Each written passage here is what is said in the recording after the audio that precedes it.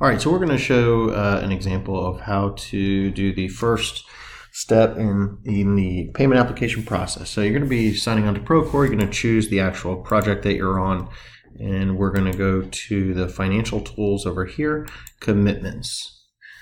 And you have to choose your subcontract, which is the only one that you'll be able to see.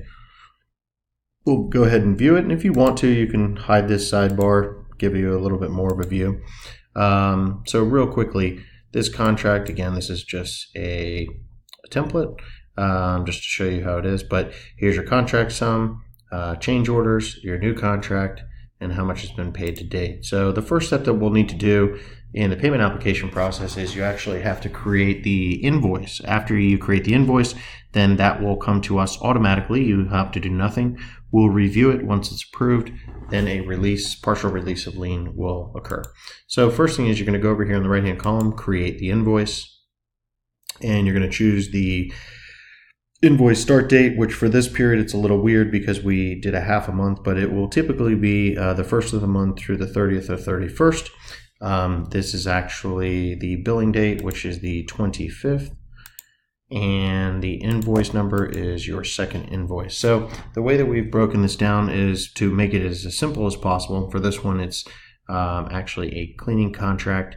Um, and they will be doing a total of um, 176 two bedrooms, 49 one bedroom. So uh, again, this is a hypothetical example, but what I'm going to go in here and you're just going to do a simple calculation. So if this is um, the first units were 12 and now they've done another 24. So it's 36 units divided by your 176.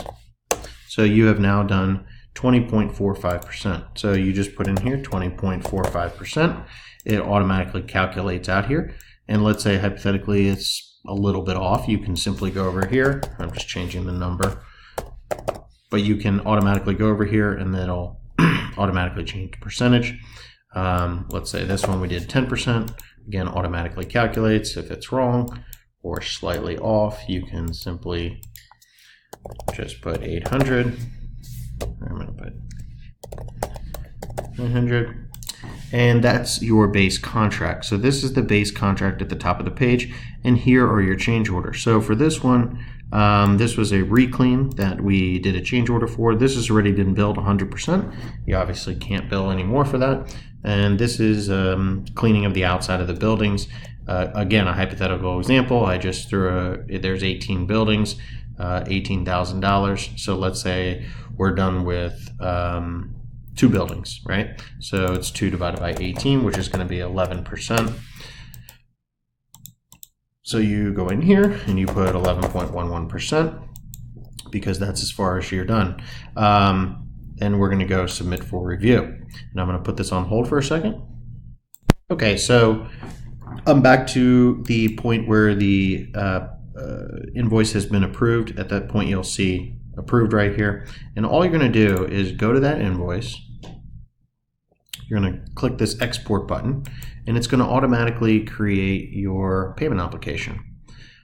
All that needs to be done is simply print this paper, um, sign, sign and date the information for the notary right here, and then you're just going to uh, drag it back over to the uh, add a file, which is right here at the bottom. So let's just say that file was uh, printed and notarized you're going to simply, I'm just going to pick a file. You're going to just drag it over here and actually do me a favor. Um, we're going to label these instead of having different names for everything. Um, hold on a second. Okay, sorry about that. Just wanted to relabel this. Please put payment application so we can decipher from one to the other. And you should be able to just drag it over here which for whatever reason, okay, it's got to change colors. Now it is populating, and that's the first piece of the puzzle. You're just going to save it. At that point, it's going to send us an email, and we're going to review it one more time just to make sure it's correct, and then you will get a release of lien, uh, partial release of lien, excuse me, and I'm going to show you that in the next video. But the first step of this process, your payment application is done. Um, and then we'll go into the next video, which will be release of liens. Thank you.